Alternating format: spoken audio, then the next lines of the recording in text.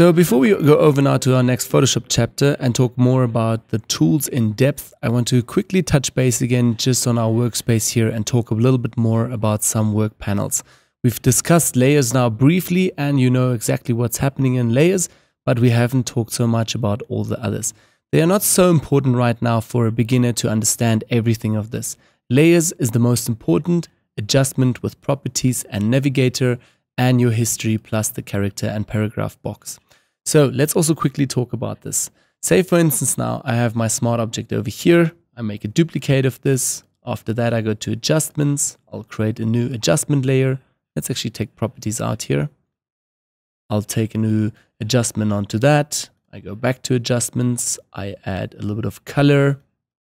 Okay, and we continue photoshopping for quite a long while. We create a new few groups, then we maybe create a group, then you continue photoshopping again with levels, and you're trying to create a really unique and different type of image.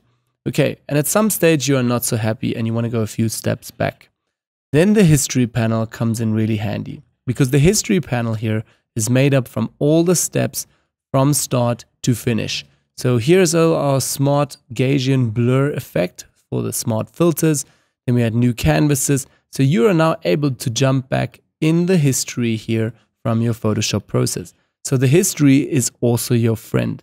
Just remember there's only a limited number that you can jump back, I think like 50 or up to 100 steps, then it's not possible anymore. So smart objects also come in handy then with this, like I mentioned in the previous lesson. Again, here you can also jump around and go to the certain steps. You'll see here on the right hand side with our layer palette, it always changes and we fall back a few more steps. Great, so history is also one of your friends. Adjustments, like I said earlier, is also one of your friends. You can either work from here to have a quicker and more speeded up workflow, or again, you can go up to layer and do new adjustments over here. You can also use it from down here. That's totally up to you again. For me, adjustments is also a friend here.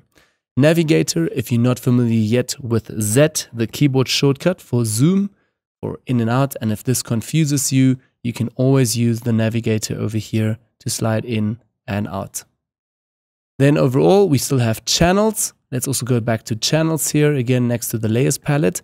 There we have our RGB colors. So first of all, you see all the different tones in RGB colors. Again, the blues, we see the greens, we can turn off the blues over here and red. This is a bit advanced. You might work with this in one or two years if you're more into photoshopping. Paths also, again, you can see here from our existing path that we had on the masks. We also talked about this previously in the course here. Again, over here, you have the working path that we've created. But more about that once we get to the pen tool as well and shapes. But path is also your friend. So again, layers I normally have adjustments together with navigator and the properties. And then also here at the top, let's just make this nice. We also have history. Again, I mentioned this earlier in my whole setup from the workspace. Again, history is for me active and right in the front. Character box to work again with my text, the paragraph the same. And info, we haven't covered info yet. Info, if I hover over here something, I can always see the values. Have a look here on the right hand side. If I hover with the mouse somewhere, I always have right away the right color values for anything. This might also come in handy in the future when you're more advanced with Photoshop. So again, for me important, history right up the front, adjustments with properties, and also my layers down here with channels. So yeah, just a small quick lesson again talking about the most important panels and what you can have for the beginning as well when creating your own workspace.